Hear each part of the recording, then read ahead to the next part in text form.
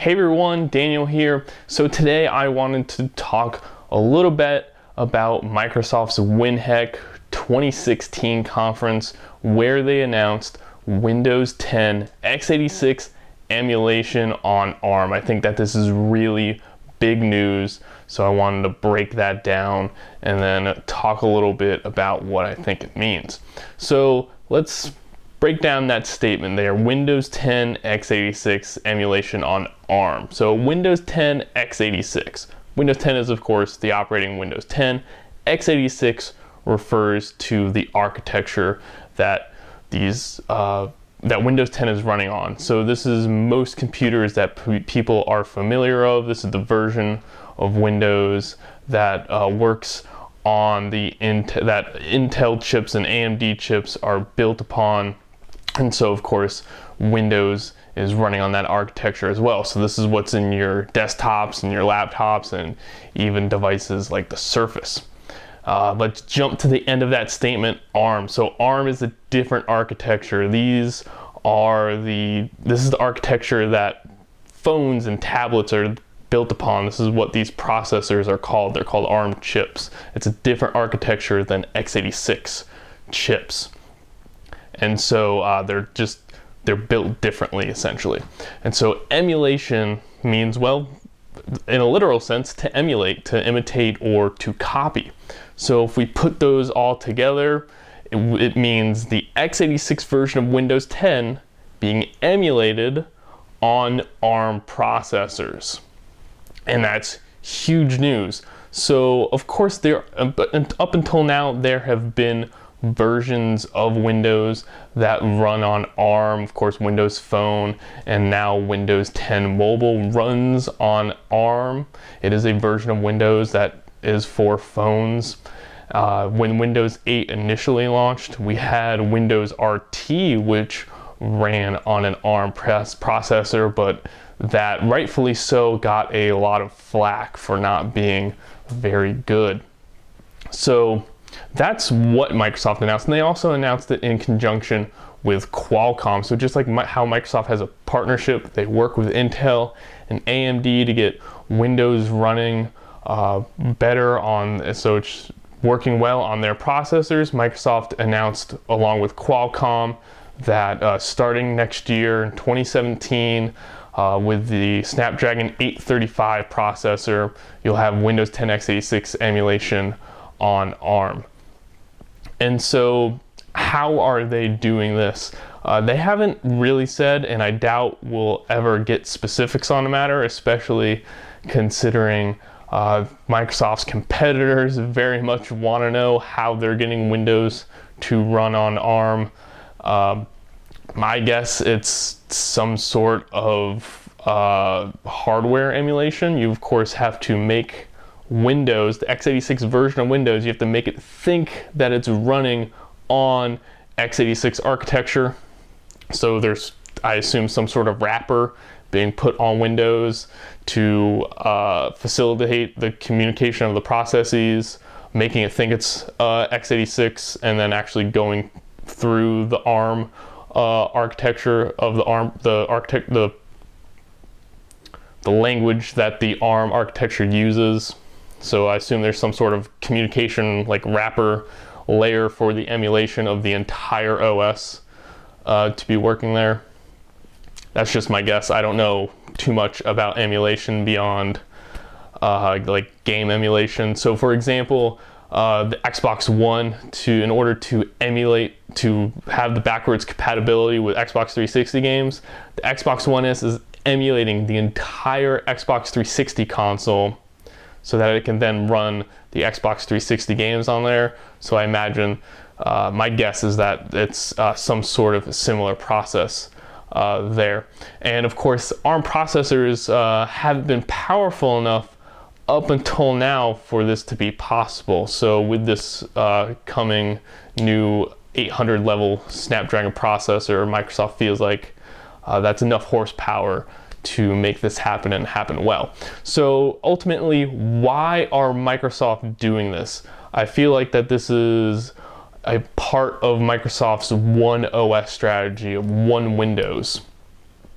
So they, ha- like I said, they've had Windows on ARM before, but that didn't work well uh, as a whole or commercially either. People didn't want that because with Windows RT, when they first launched Windows 8 on the original Surface RT and the Surface 2, it was critically panned because while it was the same user interface as Windows 8, you had a desktop, all that jazz, you couldn't actually download and run desktop programs.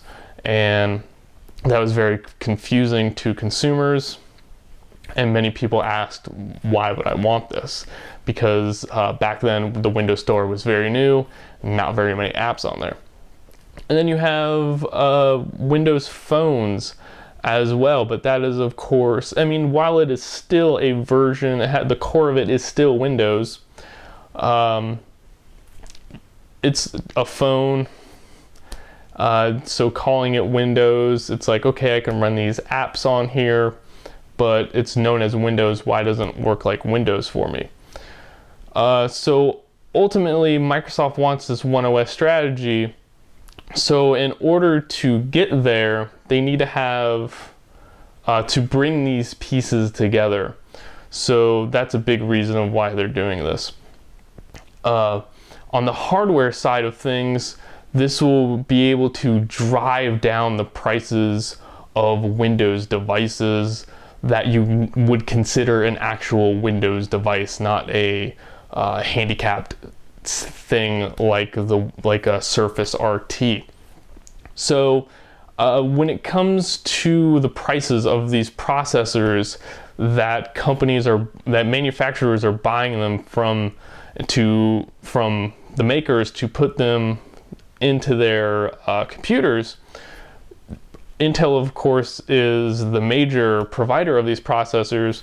So the lowest level processor available is the Atom, which uh, manufacturers pay around uh, like 30 to 50 dollars per chip, I believe. But of course, you have very uh, limited usefulness of an Atom processor. It's not capable of doing much. The next step up from that is a Core M processor, which is, I don't remember the exact number, but uh, it's somewhere between $200 and $300 per chip. I want to say it's actually closer to $300 per chip. That is a lot of money. That's going to drive up the price of your device. That's why uh, Chromebooks are very popular because they are so incredibly cheap and they're using ARM processors. A Snapdragon 800 level uh, processor costs, uh, it is believed to cost around $70. So that is significantly less than a Core M processor from Intel. So if Windows 10 x86 emulation on ARM on this Snapdragon 835, if it can come anywhere, if it is closer to a Core M in performance than it is an Atom processor, at that significantly reduced price is huge and that's literally savings that will be passed on to you and me those of us that are buying these computers so that's huge if it has that level of performance. And so at first, these devices, these uh, emulated devices that will come out, they'll still be on the high end. This is, of course, the first generation of this. And so it's going to require a lot, of, of course, you know, I mean, it's implied right there with it being only on the high level out of the gate first generation Snapdragon, this, you know, 800 level Snapdragon processor. So this is obviously something that's only going to be on the high end of devices at the uh, outset. So I believe we'll only see this in like tablets, uh, two-in-ones, and like laptops.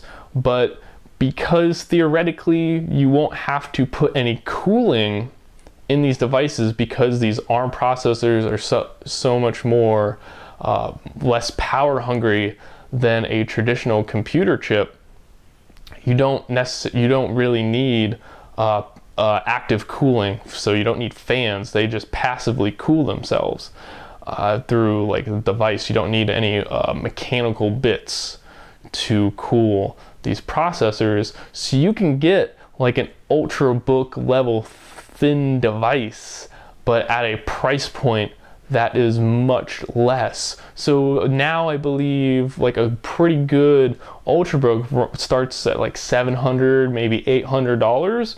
You can imagine the ultra, new ultrabooks uh, coming in with these Snapdragon processors at only like $500. If you get that down to $500, you're talking like mid-range laptop price point. That is huge if you can get such a high quality, very thin device. And so I think that will be a huge change for the computer market. And then of course, you know, people want tablets. They want to have these thin and light devices. If you can get a tablet that's full Windows, for such a cheap price and you don't have to deal with you know an atom processor because right now if you want a cheap windows tablet it's going to come with an atom but if you're going to get close to a core m level of performance from these snapdragons running windows that's huge this is also going to be huge uh, for schools as well because i think i believe i mentioned before the chromebooks. That's very big with uh, education with schools uh, specifically public schools where they have excuse me these droves of devices you know for for the students in classrooms to use. Uh, but of course chromebooks are very limiting in what they can and can't do because it's essentially just a web browser. Um, so if these schools institutions can buy windows devices at close to the same price i think that would be much more desirable both from usability, what they can uh, have the students do on the computers in the classroom, but also from, of course, the uh, management side, uh, because it's Windows, so the IT department will uh, be much happier to put their, uh, they have much higher level, I mean, it's Windows, so there's much higher level of accessibility and uh, management options on the IT side for the for departments other than compared to a Chromebook. But of course, this ultimately leads to uh, phones. ARM processors are, are, of course, in phones. So, does that mean the eventual Surface phone will be using not Windows Mobile, but Windows x86 emulation? And I believe it will. I believe that this is what an eventual Surface phone will be like when it comes out. It will be a new category of device. That is what Surface is all about after all. Uh, it's either creating something new or introducing new elements into something we're already familiar with and doing it very well. We saw that very uh, recently, of course, with the Surface Studio. All in one computers weren't necessarily uh, a new thing, but Microsoft put a new spin on it and uh, made it a new device essentially. And I think that's what they're going to do with the Surface phone. I think it will be a three-in-one device. And so we technically already have the first three-in-one uh, from HP called the Elite X3. This is a six-inch, essentially a smartphone running Windows 10 Mobile. Um, and then HP also sells a dock that you can put it to, uh, connect a monitor and whatnot, and then using the continuum mode of Windows 10 Mobile, you get a, a light desktop experience, but like Windows RT before, you're not getting really a full Windows experience because with the Elite X3, in order to use desktop applications, you have to then essentially remote into a server and use the desktop applications through there. So you still have to have uh, an elaborate backend to use desktop applications with the Elite X3. That wouldn't be the case with a phone running Windows 10 x86 emulated. You would have a full Windows device, uh, and instead of the desktop being the continuum experience, it would kind of be work in the reverse, where the device is always one, running the desktop version of Windows, but when you have it as just the phone, uh, you're getting the phone interface in that mode. So it's kind of like a reverse continuum, or just essentially what they will probably call continuum for that kind of device.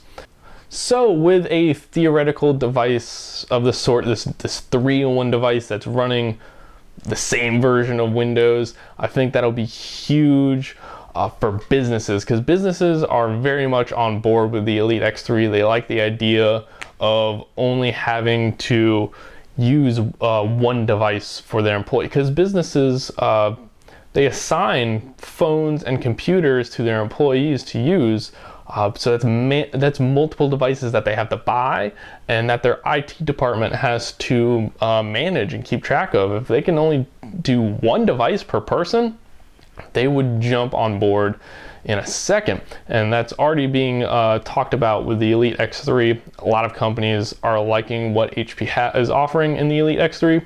So a device where everything is just on the device, it is the Windows device um, that would be huge. And I think with Microsoft's sp- uh, spin on being a primarily enterprise company, while then also being like a high-end consumer or prosumer on the other side when it comes to their consumer devices. Uh, I think uh, a Surface phone that's running full Windows will take off on a business size, and that will be enough to say support a consumer side for the phone as well. So I think for those of us that are fans of Microsoft and are have been lusting over a theoretical Surface phone for years, I think that this will make it possible. And uh, ultimately, at the end of the day, it'll be interesting to see where it go where it branches out from there. Because I think this is the this had to have been the inevitability for Microsoft uh, in part of a way this is a this is hopefully what they hope uh, this is what x86 Windows on ARM is what Microsoft's hope is simply a stopgap. So sure yes this plays into one Windows, one Windows across all devices, which is ultimately Microsoft's goal. But what that version of Windows looks like isn't a sure thing because what Microsoft wants, so, th- so this is theoretically the first step in Microsoft's uh, goal. The, the next step is what they hope is that uh, Windows Universal Platform apps take off and x86 apps fall completely by the wayside. And then everyone is using UWP apps. And with all Windows 10 devices capable of supporting UWP apps uh, that takes off. And this x86 emulation stuff falls by the wayside and they never have to worry about it again.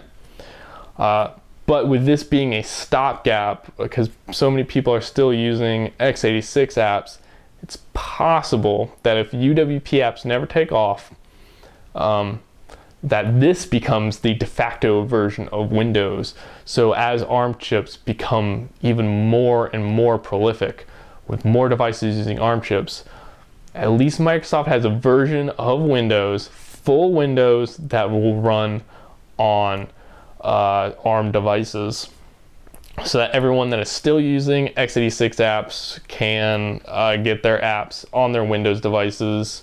Because ultimately, what Microsoft wants is people using Windows devices, and that's why they want one version of Windows on that is capable of running on any device. I saw this coming when Microsoft initially announced Windows 8 in summer of 2011, I think it was I saw their vision. I knew that they were working towards one OS on all devices, and this is obviously the next step towards that. Microsoft wants it so that when a person walks into a store, all they think about, all they have to think about is how they want to interact with the device. So input methods, do you want a traditional mouse keyboard? Do you want a keyboard trackpad? Do you want a touch device, pen, etc.?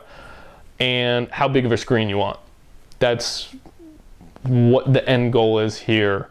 Uh, that's all someone should have to think about when they're buying a Windows device. They shouldn't have to think about what apps it can run, what it can't run, things like that. It's like, oh, can this do Photoshop? I don't know. What Windows RT? What's ARM? I don't understand what any of this means. They don't want that. They want it so that it's one Windows device.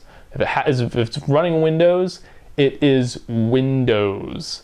So that's all they, that is their goal in announcing Windows 10 x86 on ARM is to, is this is a next step in eventually reaching this one Windows goal. And I think this is going to be huge over the next few years for Microsoft. And I think by 2018, uh, the current rumor is, of course, that uh, we might not see a Surface phone in 2017. That might be pushed back to 2018.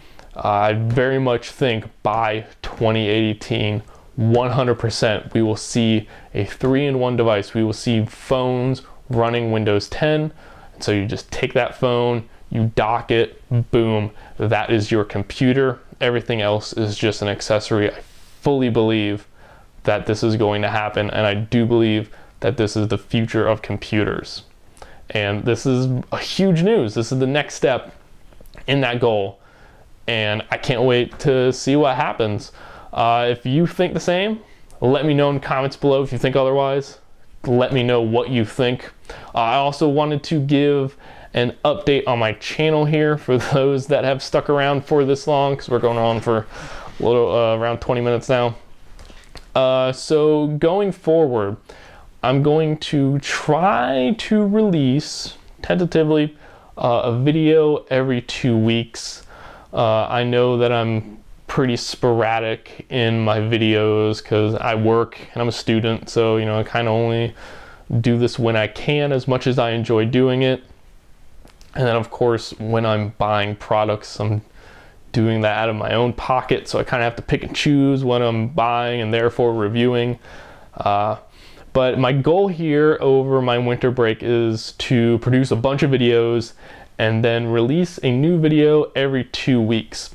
And if you saw my channel recently, I did an unboxing for some Pokemon Evolutions cards. Uh, I plan on alternating between technology and Pokemon videos for the next few months. And I know some people started following me because of those videos. I had a lot of fun doing them, so I want to continue to do some of those. So this will count uh, as my technology video for the month of December. And then going forward, I'm going to try to do one technology video every month and then a Pokemon opening every month, at least for the foreseeable future. We'll see how that goes.